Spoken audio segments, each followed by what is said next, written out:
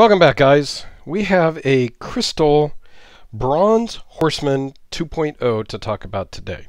And this was loaned in from my buddy Jason over at the Brass Brigade with um, a couple of other knives that we'll be talking about over the next few days as well. Um, interesting kind of case. This is almost like a um, like a dry bag that you would use, you know, on the river and whatnot. And it has some loops here. You could MOLLE it onto something, and I don't know. So it's kind of I don't know if it is waterproof, but that zipper with the rubber kind of on the outside is indicative of uh, that type of a case. So kind of cool. Has a patch on there if you're into that. We'll put that off to the side. does come with a card. Show you a couple of the details here. Kristal. And it comes with a bunch of extra hardware. So there's even a spare lock bar insert right over here and a different pivot and just yeah like a complete set of hardware minus the bearings. So it's not like a CKF where they give you extra bearings and everything also. So eh, kind of a miss. They should have included extra bearings. If they're going to go to that level give us the extra bearings so it's all titanium stonewash blade M390 I'm kind of jumping around the specs here just just how it goes sometimes. Um, but yeah, we'll dive into the specs and then we'll take a close up look and we'll talk about mostly what I like and what I don't like as well because, well, that's just how it goes sometimes. Five and an eighth oh, uh, closed, eight and three quarters overall, so it's a good size knife. 3.68 inch blade with a 3.7 inch uh, 7.6 cutting edge yes, the cutting edge is longer than the blade. How I measure it, because I measure the blade from the tip of the handle to the tip of the blade, and the cutting edge is from the edge to the tip, and because the handle's on an angle, that's just how it works out. You can measure them however you want to measure them if you think there's a different way.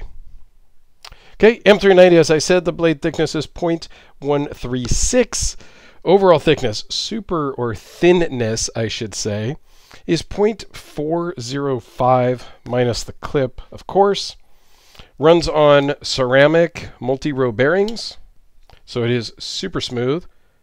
You can flick it. You can thumb it.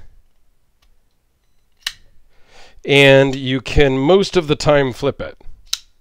Okay? It is comes in at 4.3 ounces. And we'll take a closer look. Nice stonewash. I do like that. The logo is kind of a geometric. It's kind of a cool logo. I mean, I'm not one to talk since I don't have a logo, so we'll just leave it at that. Um, but these are all milled out pretty deep, which helps aid in the weight reduction. And then on the inside, not only have they milled the outside, they've milled big pockets on the inside. So this could have been a much heavier knife. I mean, it's at four, just a hair over four ounces now.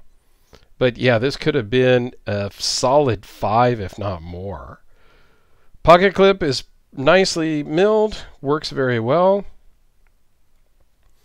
Does have a steel lock bar insert, which actually kind of hangs down and works as an over travel stop.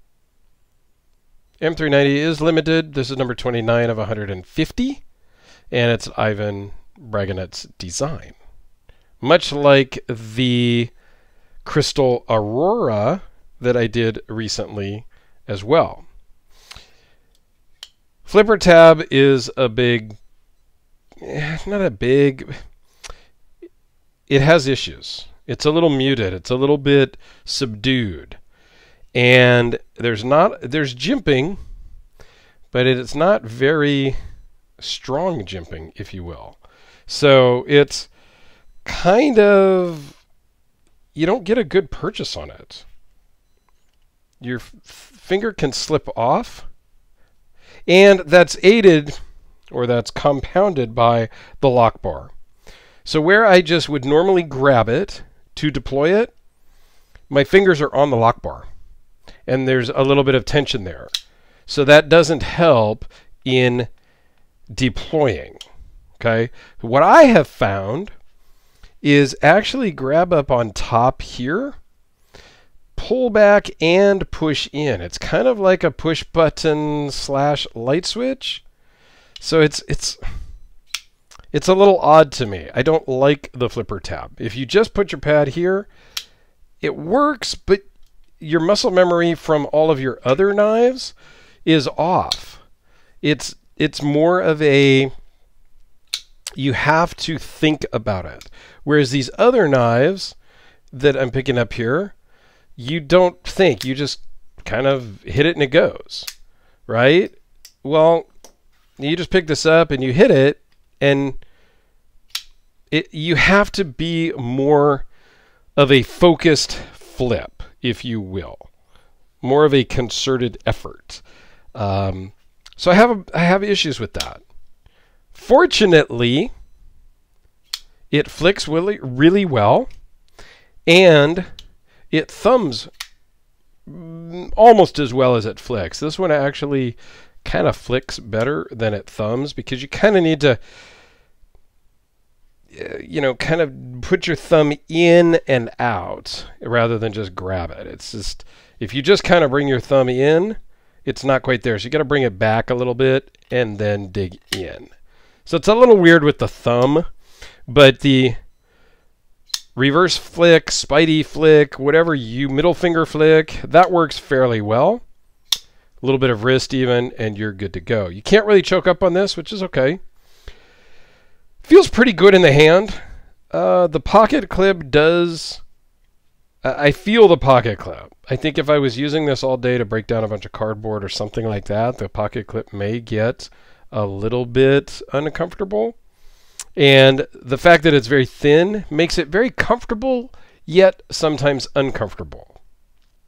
Sometimes you just like a little bit more meat in your hand to kind of feel your hand, like the Demko AD20, which is considerably you know thicker. It just it gives you a more solid feeling in your hand. Um, sometimes a very thin knife like this, you know, just it, it's solid, but it's different. It's kind of hard to explain, but I think you guys understand what I'm talking about, right? So, all in all, a cool knife. It's it was about 100, about 250 bucks when they came out. Uh, I think they're all sold out, and good luck finding them now but they were about 250 new for the stonewash. There was a satin version that I think was 260, maybe 265. You know, again, somewhere right around that 250 plus or minus range. So let's do a couple of quick size comparisons here. Got the Sharpie. We got the Spyderco Delica. We have a D-sized battery because like we can't always just use the double A as a size comparison, right? Um, I totally did not bring out a cookie, so no Oreo display today, but that's okay. Um, here it is next to the Demko AD20 in lime green G10. So basically the same size, Really just a little bit of a thicker handle on the Demko. Uh, different lock mechanism altogether and different opening and closing, right? So it's, and I've done videos on the Demkos. You can find them on my channel. Um, the Flipper World, how about the Budget Kubey KB237, which is about, you know, a little bit bigger than the Delica, just to kind of give you a, a little bit of a transition there. Try to give you guys size comparisons that everybody is familiar with, and I know a lot of my friends and stuff are not into the whole sub $50 budget knives, so you may not know what this one is. So, but I do encourage you to go pick one up because for $41 on Amazon, can you really go wrong? Really? I don't know. I don't think so. There you go. Anyway, Thanks to uh, Jason for loaning this in. I'll put a link to his channel down below. Um, thanks for watching. Come back tomorrow because there's more cool stuff. Thanks, guys. Have a great day.